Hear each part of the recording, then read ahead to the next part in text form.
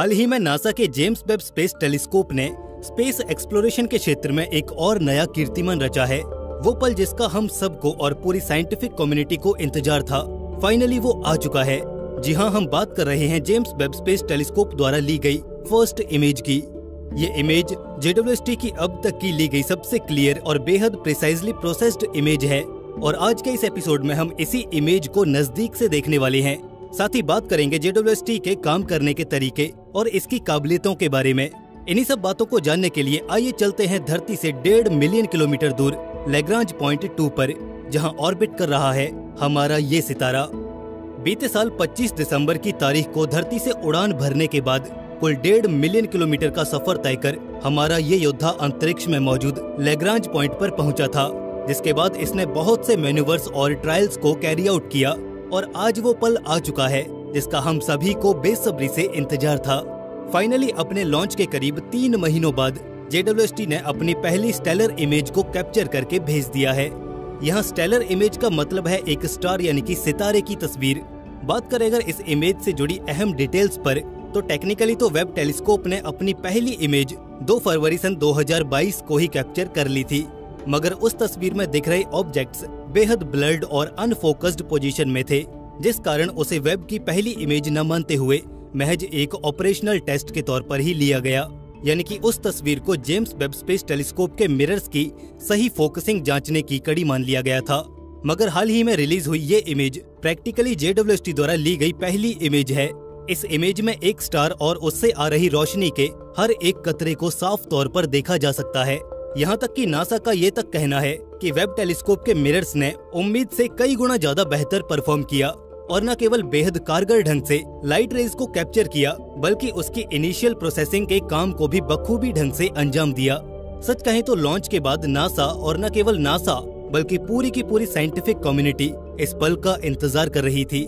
कहीं न कहीं इस पल से पहले टीम जेडब्ल्यू के इंजीनियर्स की नर्वसनेस साफ़ साफ़ नज़र आई, जो कि इस सफलता से पहले नासा को हबल टेलीस्कोप के वक्त भी एक भारी नाकामी का सामना करना पड़ा था। जी हाँ हम बात कर रहे हैं हबल के जायरोस्कोपिक फेलियर की, जब केवल एक बेसिक से मैकेनिकल सेंसर के काम न करने से सालों का यह प्रोजेक्ट बिल्कुल खत्म होने की कगार पर आ गया था। अगर आप इस घटना के बारे में और अधिक डिटेल्स में जानना चाहते हैं तो हमें नीचे कमेंट सेक्शन में बता सकते हैं। हम जल्दी आपके लिए इस पर भी एक डॉक्यूमेंट्री ले आएँगे। मगर फ़िलहाल आइए वापस रुख करते हैं वेब टेलीस्कोप की इस एस्टोनिशिंग फ़र्स्ट इमेज का। वेल भले ही आज हम इस इमेज को अपनी स्क्रीन पर आसानी से देख पा रहे हैं, मगर इसे हासिल करना वैज्ञानिकों और खुद जेम्स वेब स्पेस टेलीस्कोप के लिए इतना भी इजी नहीं था। इस पूरे सफ़र को जानने के लिए हमें चलना होगा। आज की तारीख से पूरे दो महीनों पहले, दो फरवरी की रोज, जब जेम्स वेब स्पेस टेलीस्कोप के सुनहरे मिरर्स से लाइट के कुछ फोटॉन्स आकर टकराए थे। ये फोटॉन्स न जाने कितनी ही लाइट ईयर्स की दूरी से सफ़र करते हुए वेब टेलीस्कोप की ओर बढ़ रहे थे।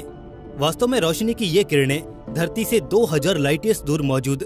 Two MASS, J one five double seven four zero four two, plus six double five one two seven seven नामी तारे से आ रही थी। इसे खोजा वेब टेलीस्कोप में ही लगे एक sensor N I R cam यानी कि नियर इंफ्रारेड कैमरा ने, जो कि एक्सक्लूसिवली वेब टेलीस्कोप में मौजूद एक इंफ्रारेड सेंसिटिव डिवाइस है, जिसकी मदद से वैज्ञानिकों को स्टारलाइट के बारे में मालूम पड़ा। शायद आप ये बात न जानते हो कि जब किसी तारे से निकले फोटोन पार्टिकल्स ट्रेवल करना शुरू करते हैं तो इनिशियली तो वो अपने ही ओरिजिनल स्टेट में बने रहते हैं और एक विजिबल लाइट रे की तरह स्पेस के वैक्यूम में ट्रेवल करते हैं। मगर जब वो रेज अपने तारे से ट्रेवल करते करते काफ़ी दूर आ पहुँचती है तो वो स्ट्रेच होने लगती है, जिस कारण वो स्पेक्ट्रम में खिसक कर लेफ़्ट डायरेक्शन में मौजूद इंफ्रारेड ब्लॉक्स में एंटर कर जाती है। आसान भाषा में जब स्पेस में लाइट बहुत ज़्यादा ट्रेवल करती है तो वो इंफ्रारेड रेज में कन्वर्ट हो जाती है। जिससे उसका ऑप्टिकल प्रभाव तो बिल्कुल ही खत्म हो जाता है, मगर उसका वेव इम्पैक्ट बना रहता है।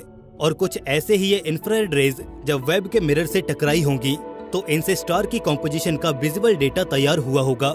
और अगर कॉम्प्लेक्सिटी से बाहर निकलकर आसान और नॉर्मल लैंग्वेज में बात करें तो जेम्स वेब स्पेस टेलीस्कोप के अपनी पोजीशन L2 लेग्रांज पॉइंट पर पहुँचते ही नासा ने अपने प्लान पर काम करना शुरू कर दिया था। जिसके अंतर्गत शुरुआती तीन महीनों में ढेरों टेस्ट इमेजेस को कैप्चर और अलाइन किया गया। इन सभी ट्रायल ऑब्जर्वेशंस का मकसद टेलीस्कोप को उसके काम की पहचान कराना और साथ ही अंतरिक्ष की कसौटी पर उतारकर उसकी काबिलियतों को जांचना था। जैसा कि हमने आपको पहले बताया, इस दौरान ढेरों इमेजेस को कैप्चर और प्रोसेस किया गया और इस नेट प्रैक्टिस के बाद फाइनली वेब ने इस तारे की हाई डेफिनेशन और डिटेल्ड कलर्ड इमेज को बनाकर तैयार किया। जैसे कि आप सभी पहले ही जानते हैं जेम्स वेब स्पेस टेलीस्कोप के मिरर्स 18 डिफरेंट मिरर सेगमेंट्स में बटे हुए हैं और यही 18 डिफरेंट मिरर सेगमेंट्स जब लाइट रेज को कैप्चर करते हैं तो 18 अलग अलग ऑप्टिकल ड्राफ्ट तैयार होते हैं, जिन्हें बाद में नासा के वैज्ञानिकों की एक टीम साथ में मर्ज कर फाइनल प्रोसेस्ड इमेज को तैयार करती है। ये ठीक वैसा ही है जैसे हमारी दो आँखें, जिनका ड्यूअल फ्रेम विजन हमारे दिमाग रियल टाइम में प्रोसेस कर एक यूनिफाइड और फ्रेमलेस व्यू देता है। ऐसे ही इसी फंडामेंटल इंजीनियरिंग के आधार पर यह टेलीस्कोप भी काम करता है और हमारी इस इमेज को भी कुछ इसी ढंग से गैदर किए गए डेटा के मर्जर के बाद तैयार किया गया है। आइए अब जानते हैं कि आखिर जेम्स वेब स्पेस टेलीस्कोप काम कैसे करता है। किस तरह ये किसी भी स्टार या दूर दराज में बसी गैलेक्सी पर फोकस करके उसकी बेहद डिटेल्ड और हाई डेफिनेशन कॉस्मोस इमेज तैयार करता है। वेल स्पेस इंजीनियर एक इंतहाई कॉम्प्लेक्स और पेचीदा टॉपिक है। किसी भी स्पेसक्राफ्ट के वर्किंग कैपिटल को समझने में कई महीनों तक का वक्त लग सकता है। फिर भी आइए इसे बेहद सिंप्लीफाइड ढंग से समझने की कोशिश करते हैं। फ़र्ज़ कीजिए कि आज हमें जेडब्ल्यूएसटी की मदद से किसी 1000 लाइट ईयर्स दूर मौजूद सितारे की इमेजेस चाहिए।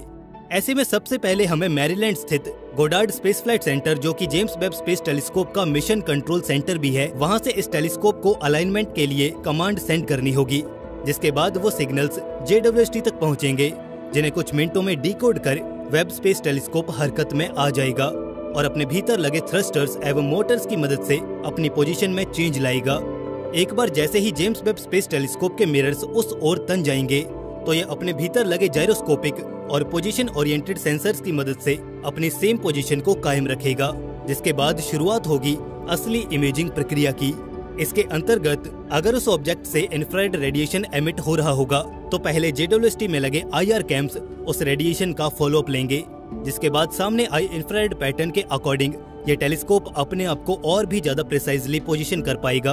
और फाइनली इसी मोमेंट पर फोटॉन्स और अन्य रेडिएशन को जेडब्ल्यूएसटी के मिरर्स कैप्चर करेंगे, जिसके बाद लाइट रेज ट्रेवल करते हुए इसके सेंसर्स तक पहुंचेंगी, जहाँ पहुँचने के बाद वो सारा ऑप्टिकल डेटा एक्चुअल इमेजेस में कन्वर्ट होगा। जैसे कि आप जानते ही हैं कि इस टेलीस्कोप में लगे 18 डिफरेंट मिरर सेगमेंट्स अलग लाइट प्रोस्पेक्ट्स को कैप्चर करेंगे। यानी एट द सेम टाइम हमारे पास एक ही ऑब्जेक्ट के 18 फ्रेम्स या कहें कि कॉपीज मौजूद होती हैं, जिन्हें कंबाइन करने पर हमें कुछ ऐसी फाइनल इमेज हासिल होती है। 16 मार्च को जारी की गई इमेज भी कुछ इसी ढंग से ली और प्रोसेस भी की गई होगी। इनफैक्ट फ़िलहाल रिसर्चर्स और वैज्ञानिकों की टीम इस न्यूली कैप्चर्ड इमेज को स्टडी करने में जुटी हुई है।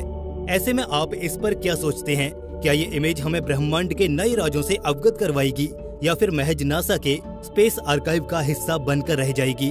दोस्तों, आप अपनी राय हमें कमेंट सेक्शन में शेयर करना न भूलें। दोस्तों, अगर आपको ये वीडियो अच्छी लगी तो इसे लाइक और दोस्तों में शेयर करना भी बिल्कुल न भूलें। साथ ही चैनल को सब्सक्राइब करके बेल नोटिफिकेशन ऑन ज़रूर कर लें। दोस्तों, मिलते हैं ऐसे एक नए इन्फॉर्मेटिव वीडियो के साथ। तब तक के लिए स्टे क्यूरियस बी हैप्पी नमस्कार।